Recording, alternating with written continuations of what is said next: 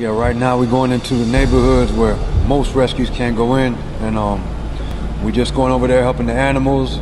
You know, a lot of these neighborhoods, is, there's a lot of gangs, there's a lot of shootings. Gunfire erupting in the night. All the units move everybody to the west side of 12th Avenue. In the end, nine people hit by the flurry of bullets on a Miami street.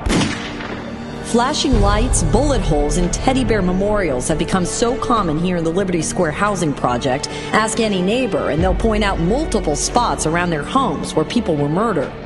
A lot of people scared to go in these certain neighborhoods like Leisure City, Overtown, Perrine, uh, Pork and Bean projects, like wherever the need is at. That's what we do, man. We just we just going to help the animals and you know help people at the same time. And, and if somebody's in need, we help them with whatever they need. We don't care what you're doing, but we hungry out here.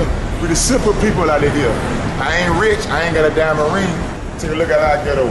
Medical needs. We got a vet tech on staff available. We got food. We got whatever they need, and this is our mission right now. So right now we're going into this hood called Leisure City. It's a neighborhood where I grew up at. It's a, it's a rough neighborhood.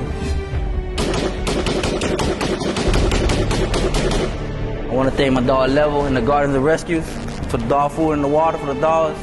Showing love. It's only right they should get back to the community, man. Thank you. Most rescues won't go in these places, but we are going to go over there and do what we need to do to help these animals, you know, make it through. I know there's a lot of people that are in need. Uh, I know medical attention is, you know, sometimes really looked over because, you know, they can't afford it. Yeah. Or they, you know, they have other issues that they need to take care of before their animals. Yeah. I know they're trying to do the best, but we're here to help. Uh, we're here to, you know, supply vaccines, flea and tick treatment if needed. Um, whatever, whatever they need, you know, food, water, we got all that with us. So we just want to go out here and help as many families with pets as we can. And that's our mission. Yeah, so right now we're over here in Florida City. You know, we, we came over here. There was a lot of people in need with my brother Jimmy right here. A lot of people out here was in need. We helped a lot of animals. We gave out food, supplies, water. We got them flea and tick medication, and, and we're gonna continue just uh, working throughout Miami-Dade, from hood to hood, project to project, helping people out and just giving back. You feel me? That's what we're here for. Guardians of Rescue. You already know.